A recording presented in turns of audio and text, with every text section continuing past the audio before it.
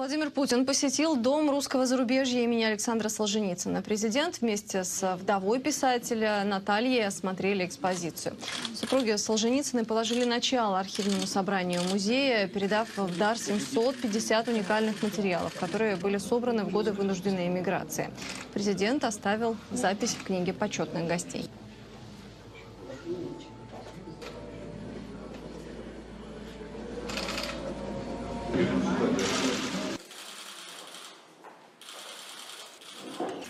Хочу вас поблагодарить за все, что вы делаете сегодня, ну, все, что вы делали раньше, будучи фактическим редактором всего, что вышло из-под пера Солженицына. Это одно. Вы продолжаете эту работу, продолжаете ее для нас, для всех, чтобы мы ничего не забывали, чтобы не наследие самого Александра Александровича, и, да, и э, все, что связано с его жизнью, с его творчеством, не забывалось. Я вот сейчас, когда писал по просьбе коллеги, я отметил, что э, жизнь э, российской иммиграции всегда неразрывно была связана духовно, всегда была связана с Родиной, с Россией. И в этом особенность, э, я считаю, российской, именно российской иммиграции. И она, эта иммиграция, будучи даже вдали от Родины, вносила, ну и сейчас вносит очень заметный вклад в, в духовную жизнь самой России, в жизнь России всегда вносила. И, и мы должны это знать, помнить, учитывать, иметь в виду и, и использовать в сегодняшней работе. Вам большое еще раз за это спасибо и всем коллегам, которые занимаются этим домом, этим музеем. А, потому что это вот такая э, вещь, которую мы никогда не должны забывать э, в нашей истории, чтобы никогда не повторять ошибок подобного рода. Вот мы сейчас говорили об этом.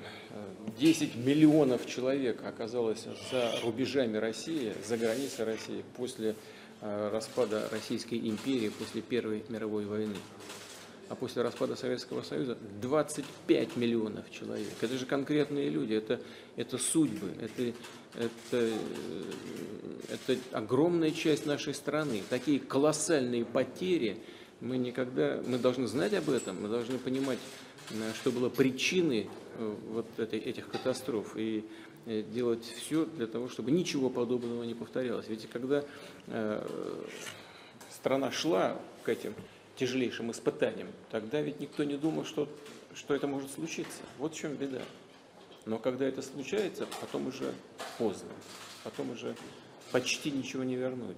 Или очень многое становится утраченным, и очень многое из того утрачено, из того утраченного действительно невозвратно утрачено.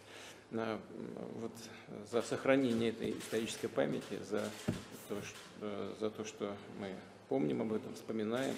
Особенно это касается молодых людей, за продвижение э, самого лучшего из всего, что было, вышло из-под пера Александра Александровича, особенно среди молодых людей. Вот за это вам огромное спасибо. Еще раз поздравляю вас с днем рождения. Спасибо большое.